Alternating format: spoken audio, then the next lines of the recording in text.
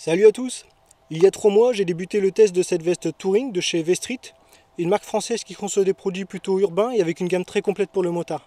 Ce modèle Vestreet Travel est de type 2 en 1, c'est-à-dire avec une doublure thermique amovible, mais une doublure étanche hyper dry intégrée à la veste. Elle est de type flottante, c'est-à-dire non laminée au textile, comme ça se ferait sur des produits plus haut de gamme. Le textile est en fibre tech, 100% polyester de qualité 600 deniers, et avec des renforts en tissu 1600 deniers Oxford au niveau des épaules et des coudes. Sans être particulièrement lourde, son poids confirme la qualité des matériaux utilisés contre l'abrasion et l'arrachement. Elle fait bonne impression en main. On y retrouve des coques de protection aux épaules et aux coudes qui répondent à la norme CE de niveau 1. Elles sont de qualité standard et donc plutôt fermes, ce qui fait qu'on les ressent un peu à l'usage lorsqu'on n'utilise pas la doublure chaude dans la veste. On note également qu'il n'y a pas de dorsale fourni d'origine, ce qui est malheureusement courant. Vestreet en propose plusieurs modèles en option de plus ou moins grande taille. Notez qu'il vous en faudra une qui soit bien souple pour pouvoir l'intégrer à cette veste, car l'insertion se fait par en bas et l'entrée est très étroite. Une dorsale semi-rigide ne pourra pas y prendre place par exemple. A l'usage, nos mouvements restent bien libres, notamment grâce à la présence de soufflet d'aisance au coude et à l'arrière des bras. On est à l'aise avec cette veste. On retrouve d'ailleurs des sangles de serrage velcro à la taille et au bras pour l'ajuster comme on l'aime. Et je note que ce modèle en taille M me correspond bien comme c'est le cas habituellement. La coupe est bonne. Côté rangement, la doublure thermique comporte deux grandes poches en tissu, dont une qui est fermée par zip et l'autre par velcro, sans cette doublure, on ne retrouve plus qu'une seule poche interne côté gauche dans la veste, fermée par velcro. Cela dit, vous avez 4 grandes poches à l'avant de la veste, on ne manque pas d'espace pour stocker ses affaires. Les poches du haut sont spacieuses et j'y rentre très facilement à un gros portefeuille ou une batterie externe avec des câbles de recharge, et elles sont assez résistantes à la pluie. En fait, leur limite vient du fait que les fermetures utilisées sont très classiques et non étanches, c'est d'ailleurs bien dommage à ce niveau de prix. Du fait, sous une forte pluie continue, il n'est pas impossible que quelques gouttes d'eau s'y introduisent. Concernant les deux poches du bas, elles sont fermées par velcro, mais le rabat ne reprend pas la membrane étanche, donc il ne faudra pas trop compter sur elle pour les objets sensibles s'il se met à pleuvoir. Ça reste bien sûr résistant sous les pluies moyennes et ponctuelles, et ça dépendra aussi de la protection de votre moto. Elles sont bien spacieuses et j'y rentre facilement une paire de gants par exemple, comme ces V-Street MX Dusty dont vous retrouverez l'article complet sur le site, le lien est en description. Enfin, la grande poche arrière est un vrai fourre-tout, elle mesure 23 par 25 cm et elle est fermée par un zip plus un velcro. Elle peut contenir la doublure chaude de cette veste, ou une paire de gants et des lunettes de crosse par exemple. Ce genre de choses qui peuvent être pratiques suivant votre activité après une portion de route, ou suivant le temps qu'il fait durant votre balade. J'y ai même mis une poche à eau avec un litre d'eau durant une balade tout terrain cet été, même si elle n'est pas prévue pour ça à la base. Ça m'a bien dépanné en période de canicule en plus de ma bouteille d'eau.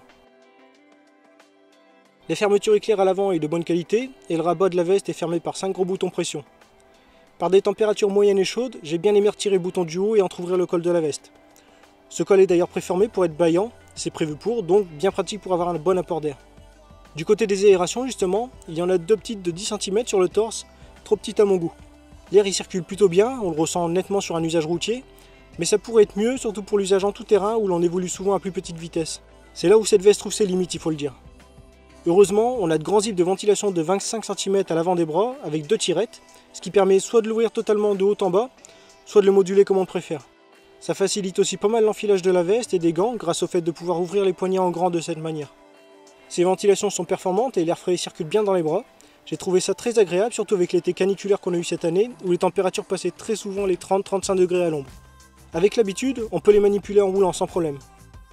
La membrane hyper dry est d'ailleurs plutôt respirante, j'ai bien l'impression, ce qui favorise le flux d'air qui circule dans la veste et qui est évacué à l'arrière par deux zips de ventilation verticaux de 15 cm. Le résultat est que j'ai rarement eu trop chaud avec cette veste, même en plein été sur un usage routier. Il n'y a qu'en ville où ça devient vraiment limite au-delà des 30 degrés. Par contre, je ne la conseillerais pas en tout terrain au-delà des 20 degrés, encore plus si vous faites souvent des passages techniques, elle n'est pas adaptée pour ça. Vous risquez d'avoir vite trop chaud à la moindre difficulté, il vaut mieux en rester à des chemins roulants. Lorsque les ventilations sont fermées, j'ai trouvé qu'elle faisait bien l'affaire vers les 12-15 degrés. En dessous, certains mettront la doublure chaude de préférence, suivant la protection qu'a votre moto encore une fois, surtout si vous faites de la voie rapide. Je n'ai pas eu l'occasion de porter cette doublure chaude car il n'a jamais fait plus froid que ça lors de ma période d'essai. Mais de toute manière, la doublure est de bonne facture et je n'ai jamais eu de reproche à faire côté apport thermique sur les doublures chaudes des vestes que j'ai pu essayer. Ça a toujours fait l'affaire et je roule vraiment toute l'année en moto. Juste une précision, j'ai trouvé ça bien vu d'avoir ajouré cette doublure chaude au niveau du raccord des manches, ça favorisera la respirabilité. Pour l'imperméabilité de la veste en elle-même, la saison ne m'a pas offert beaucoup de grosses pluies, mais pour le peu, je suis toujours resté au sec. Après une bonne pluie de 20 minutes en continu par exemple, on a au pire une sensation de froid, voire d'humidité quand le textile se gorge d'eau. C'est assez caractéristique aux vestes dont la doublure imperméable n'est pas laminée. Mais je suis resté bien au sec en réalité. Le bilan de cet essai est donc très positif. Cette veste est bien finie, il ne montre d'ailleurs aucun défaut particulier après trois lavages durant mes 3 mois d'essai. Les matériaux utilisés sont de bonne qualité et la ventilation est bonne sur route et disons correcte en tout terrain roulant. Elle peut faire mieux de ce côté-là, et il lui manque donc aussi des fermetures bien étanches sur les poches externes du haut pour bien faire. Éventuellement, avoir quelques zones réfléchissantes sur cette veste aurait été un plus, elle n'en a aucune. La veste 2 en 1 Street Travel n'est disponible qu'en noir et au prix public de 300 euros. Elle s'adresse à ceux qui recherchent un look discret et un produit de bonne qualité pour rouler toute l'année. Sur ce, retrouvez l'article complet en cliquant sur le lien en description de cette vidéo. N'hésitez pas à me poser vos questions en commentaire et je vous dis à très bientôt pour un prochain test. Salut